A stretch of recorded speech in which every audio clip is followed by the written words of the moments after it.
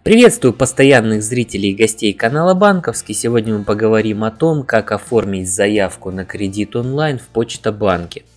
Задача эта очень простая, тут практически ничего особо делать и не нужно. Главное, вы не выходите из дома, все делаете у себя дома или даже, может, по дороге на работу или еще как-то, если у вас мобильная версия Почта банка.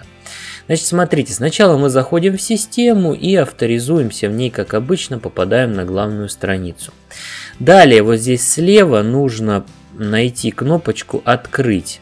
То есть она работает для всех продуктов финансовых, тут и кредиты, и карты, и все прочее. В самом верху мы видим здесь кредиты. Можно полистать и посмотреть, какие варианты здесь предлагается. Ну, например, выбираем кредит наличными.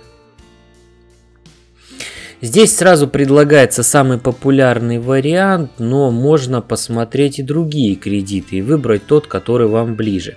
Здесь э, сразу же на странице главной э, находятся общая информация такая, то есть основные тарифы по каждому кредитному продукту. Если нужно подробнее, можно нажать э, на кнопочку подробнее и посмотреть уже тариф э, детально. Что там, там и требования к заемщику, все будет. Также здесь есть рефинансирование, запасной кошелек, кредит на образование и так далее. Ну давайте рассмотрим на примере обычного кредита наличными. Жмем кнопочку «Продолжить». И далее уже система нам предлагает заполнить онлайн заявку. Я этого делать не буду, расскажу просто как это делается. Значит здесь э, уже часть данных есть персональных. Э, вам нужно будет заполнить то, что не соответствует. Ну, например, вот здесь фамилия, имя, отчество, там мобильный телефон, э, э, адрес электронной почты, дата рождения. Далее вы соглашаетесь на отправку запроса в БКИ и нажимаете кнопку «Далее».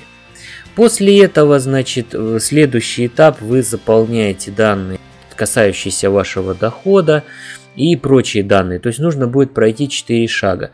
После этого вы подтверждаете по смс э, именно отправку заявки.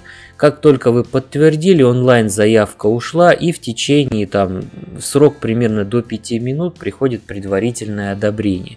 Если вам банк отказал, то соответственно вы никаких действий дальше не предпринимаете. Если, вы, если банк вам одобрил заявку, то вы уже соответственно действуете по инструкции дальше.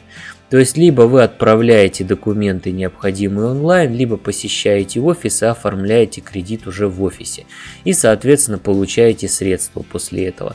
Э, не лишним будет напомнить, что предварительное одобрение, оно не гарантирует получение денег. То есть, э, деньги вы получите после того, как предъявите фактически документы. Ну, в частности, вот документы о доходе, да, то есть справку о доходе